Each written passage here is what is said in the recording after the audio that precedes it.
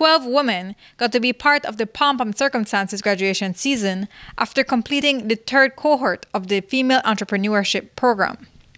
The program, which is a collaboration between Beltraide, the Ministry of Foreign Affairs, and the Embassy of Taiwan, sought to empower women who were already small business owners so that they would be able to better manage their respective businesses.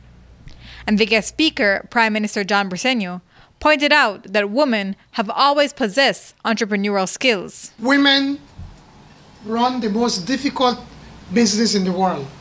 They run a home, the family by generally. So when we are talking to them about budgets, they understand budget.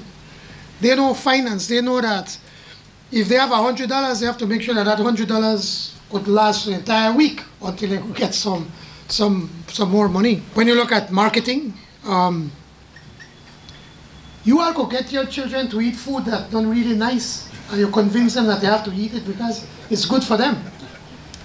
Or they could convince a husband that um, you don't forget tonight. You know, just say, um, go, go if you want. And you know what that means, that you better stay home. The leadership skill that you, that you have at home every single day, making sure that kids get up in the morning, and making sure that the house is clean, that everything is in order, that, that, that requires a, um, a, a special skill.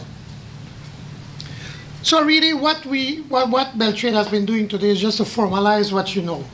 And to in, in, in fact to let you realize that that there's so much that you already know.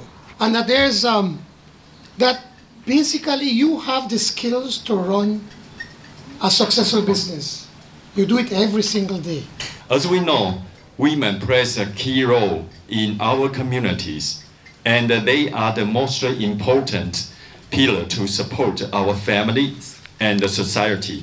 However, women also suffer from gender bias, resource deficiency, economic inequality, inequality, inequality and even uh, domestic violence, especially during the period of pandemic COVID-19. And one of today's graduates, owner of Yesie's Cuisine and Catering, who also has a brand new hot sauce on the market, explained that her latest product came about because she wasn't able to provide her usual service during COVID 19. So she decided to create something that she could send out while she stayed safe at home. But even before COVID, she dreamed of being a part of Beltraide's training sessions. I got started in Beltraide a few years ago. Um, I used to be a catering business. I used to cater finger foods and foods for um, for same Beltraide for their seminars. I started catering their seminars, and I said once to one of the trainer or one of the advisors, I said, I don't just want to come here and deliver my food. I want they want to be in that class. The challenges I faced was time. I needed to find a balance between time for home, for work, and not to be in a class. I had to be I had to put my priorities first. What was my priority? And for me, the training was my priority.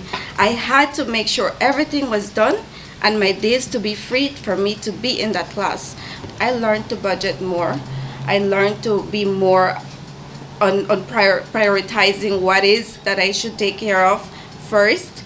And uh, I believe with everything, I don't believe, I know that with everything I learned in that class, and now I'm putting it to practice, that will be a big change for my future and for the future of my kids. And while GERA is a part of the food and beverage sector, other sectors involved in this training included agro-processing, creative industries, and health and wellness. And all 12 graduates were from the Orange Walk and Corozal districts. Courtney Menzies, 7 News.